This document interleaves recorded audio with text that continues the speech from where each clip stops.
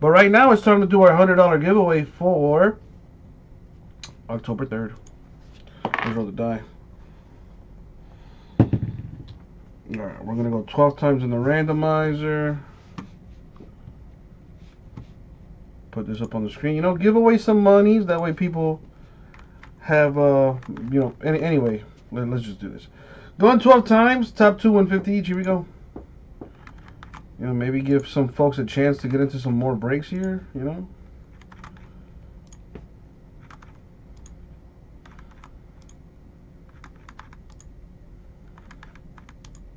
Twelve times.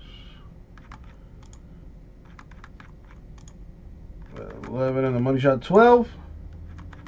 Boom, 12 times. And the top two are Damien and Silverman. Congrats to the two of you.